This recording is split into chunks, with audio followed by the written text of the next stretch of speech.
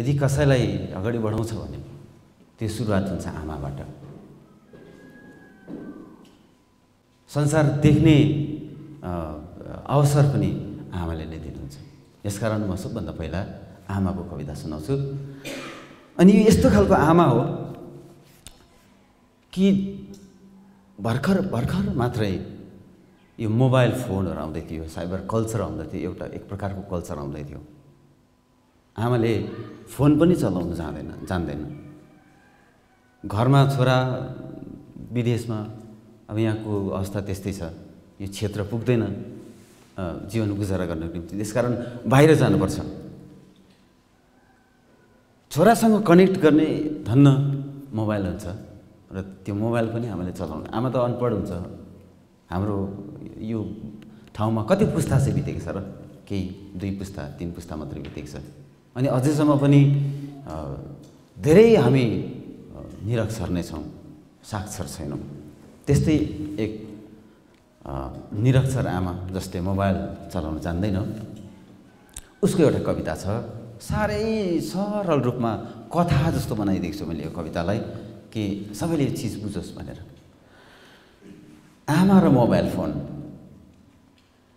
रायो सागमा पानी हाल्दै गर्दा बच्छ छोराको सम्झना। हेलो अँ सागमा पानी हाल्दैछु। कसरी बिटा दस रुपियाँ छाक पनि पुग्दैन यत्रो दाम। सुनेकी छन्? प्रश्नै प्रश्न झुन्डिएको सहर जाँदा। एक हातमा पानीको पाइप अर्को हातमा मोबाइल फोन। आमाको बिहान अथवा बिहानैको आमा। सागपातलाई थाहा छ यो चलिबस्ने नाटक। बिपिएलको रासिन थाप्ने लहरमा बस्छ आमाको मोबाइल फोन।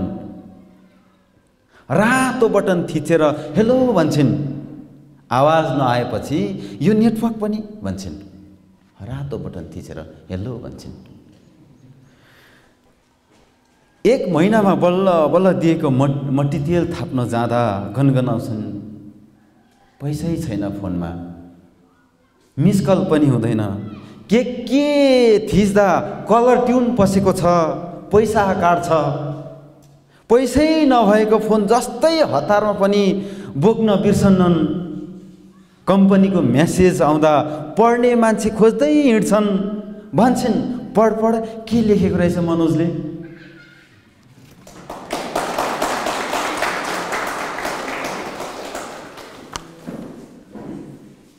छोराले घर छोडेर गएदेखि आमाको मनमा पापै मात्र पसिबस्छ छोराले घर छोडेर गएदेखि आमाको मनमा पापै मात्र पसिबस्छ आमाको मनको फाइदा उठाएर आइबस्छ नराम्रो सपना। दिउँसो हातमा भाउचर बोकेर मान्छे खोज्दै हिँड्छन् गाउँमा। धुरथहरूले आफ्नै फोनमा हालेर पसेना बजै भन्छन्। घर र छोरा दुश्मन जस्तो भएको मन पर्दैन आमालाई। गाउँ र छोरा पराई जस्तो भएको पनि मन पर्दैन आमालाई। आमालाई तर टुमटुम पनि मन पर्दैन। पैसै नकमाए पनि छोरो सहरमा भएको कुरा कुनै के के दबाएर ढुक्कैले सुनाउँछिन्। मोटी बुहारी बुकुल्ले नाति र दिनै पछि बुढो हुँदै गइरहेको छोरा अनि इन्दिरा आवासको घर अनि आमा मात्र आमा। आमासित डिजिटल संसार छैन टिपिकल संसार छ अनि मात्र संसार छ।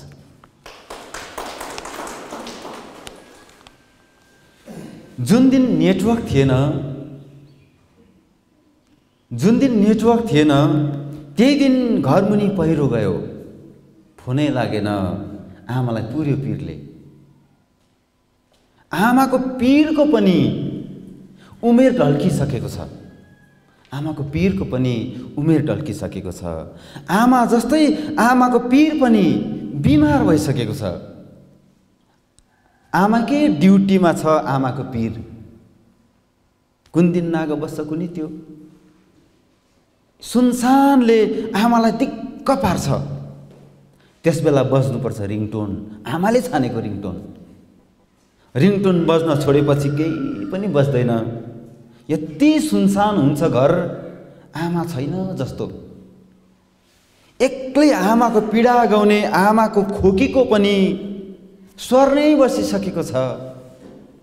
फोन गर्न घरिघरि फोन नआउँदा मलाई डर लाग्छ। सधैँ भन्छन् आमा नभएको घर नै हुँदैन। हो नि हुनु त तर छोरा सहरमा आमा गाउँमा बिचमा मोबाइल फोन।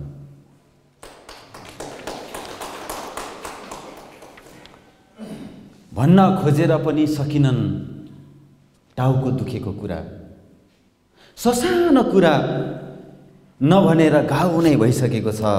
धेरै दुख्दा दुःख नै हराउँछ कि? गाउँमा बिहे छ। पुरानो साडी छ र छ त्यही गिलास सेटको सस्तो उपहार। गाउँमा मरौ छ छोराको महिना मरेको छैन। गाउँको छिमेकीको छोराको बर्थडे पनि छ आँटा सकिएको छ रासिन दिएको छैन। निम्न वर्गलाई लुट्न गाउँकै गुरुमाको बारीमा बसाएको छ टावर सबभन्दा खुसी छन् आमा। खराब नेटवर्क छ। कसैले जान्दैन टावरको मनोविज्ञान। फोन लाग्छ सुन्दैन पैसा काटिन्छ बल्ल बल्ल फोन लाग्छ लाग्दा भन्छन् मलाई त फोन नै गर्दैनस् त। बारीको डल्ले खोर्सानी कसले टिपिदिएछन्? बारीको घाँस कसले काटिदिएछन्? एकछिन माथिल्लो गाउँ जाँदा उम्रँदै गरेको सागबारीमा कसको कुखुराले भुतभुते खेलेछन्? आमालाई फोनमा अरू कुरा गर्न आउँदैन।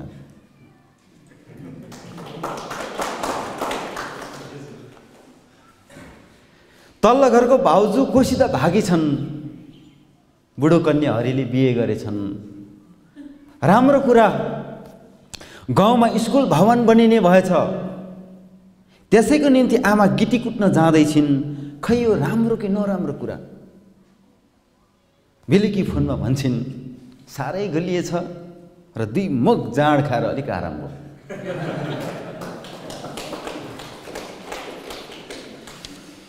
आमाले हर्लिक्स मागिनन् टनिक मागिनन्। भनिन् यसपालि अलिक थपेर पठाइदिए पैसा वरिपरि बार लगाउनु पर्यो। आमाले लगाएको बारले छोराछोरीलाई रोक्न सक्छ? अरू कसैलाई रोक्न सक्छ? आमाले लगाएको बार आमाले लगाएको बारले कसलाई सुरक्षा गर्छ? आमालाई कि बदमासहरूलाई? बदमासी गर्न छेक्छ कि आमाको बारले? सुरक्षाको अर्थ आमाबाट नै खुल्छ। एक दिन आमाले नै सुनाइन् शर्मा बाउको टाउको काटेर बाँसघारीमा फ्याँकिदिएछन् त्यो पनि हाम्रै पार्टीको केटाहरूले। यस्तो आमाको मोबाइल फोन।